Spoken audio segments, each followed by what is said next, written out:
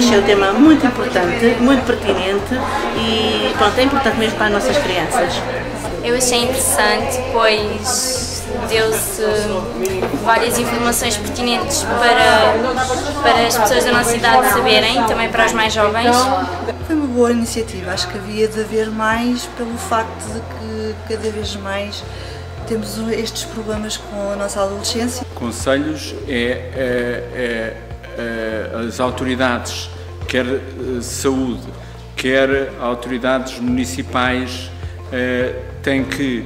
pôr fim ao consumo e, ao, e à estratégia, a estratégia mercantilista de, de, nas escolas haverem cada vez mais ou pelo menos não serem tiradas das escolas eh, aquelas, eh, aquelas hum, como é que se chamam? As máquinas de vender que estão recheadas de, de, de bolos e, e, de sumos, em vez de porem produtos que, se fossem, que, que são com certeza muito mais saudáveis uh, e, e, que uh, é numa questão de hábito e os seus miúdos só tivessem aquilo, eh, seriam isso que, que iam preferir. Por outro lado, é a mentalidade quer em casa,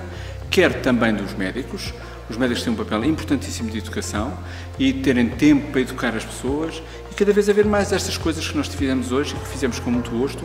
e que é importante verem os jovens, os miúdos pequenos, para se começarem a habituar a ouvir falar sobre alimentação saudável, sobre aquilo que se deve comer e não deve comer e sobre o exercício físico no combate à obesidade, que são as coisas, as, as duas pedras basilares que temos que cada vez mais apostar nelas para que tenhamos uh, gente saudável e, e, e, e, o futuro seja mais risonho um menino que tem diabetes é um menino como todos os outros meninos. Não tem nada a ver, tem que pode fazer toda toda a atividade como os miúdos saudáveis, sem nenhuma doença crónica e podemos ter que adaptar, obviamente, um pouco a sua alimentação, mas até promovemos a alimentação de todas as crianças serem também melhor para comerem exatamente como este miúdo, que precisa, obviamente, de alguns cuidados, mas todos os outros também. Mesmo sem diabetes, a alimentação deve ser equilibrada, deve-se promover o exercício físico uh, e assim tem um melhor controle metabólico, como digo, tanto uma criança ou um adolescente com diabetes, como também uh, as crianças que não têm doença nenhuma.